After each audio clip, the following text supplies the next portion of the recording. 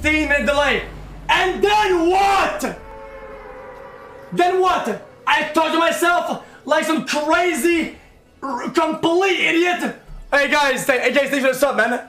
Oh, oh yeah, oh, oh, wait. Oh, you're you're 12. Oh, oh, you have a beard now. That's fantastic, dude.